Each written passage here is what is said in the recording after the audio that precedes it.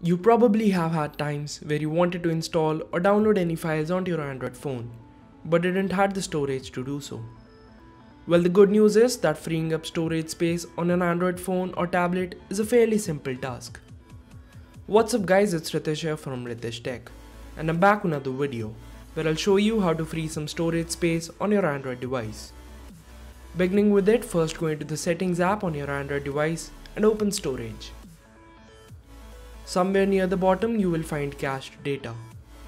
Tap on it and hit OK, which will clear all the cached data generated by every app on your device. As you can see I just saved 1.3 GB of data. Now before deleting or removing files and apps from your phone that are no longer needed, you have to analyze the storage on your device.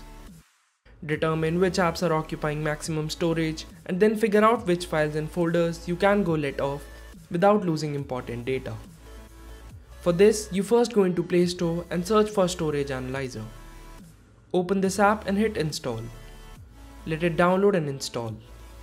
Open it and the app will automatically start scanning your device storage to generate information.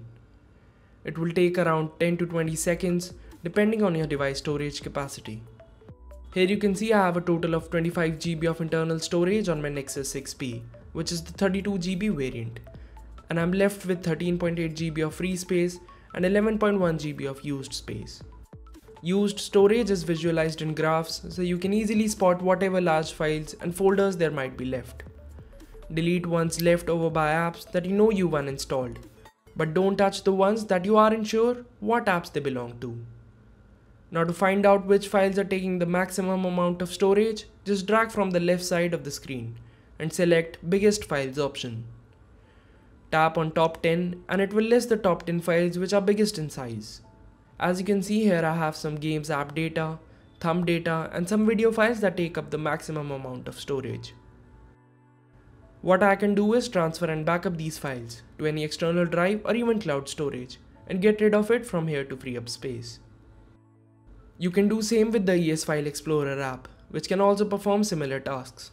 Just install it from the Play Store, open it hit the left options button, go to tools and tap on SD card analyst. Give it some time to scan storage. It will list all the large files on your device in descending order. Apart from that, it also shows redundant files on your phone.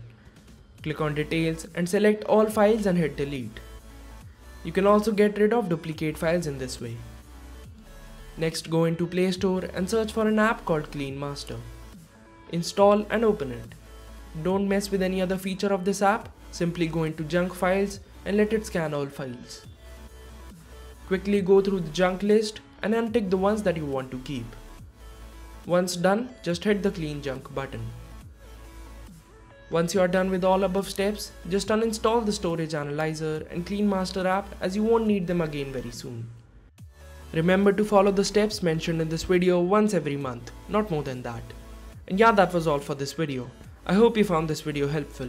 If you did, then don't forget to like this video and subscribe to my channel to get notified about my future videos.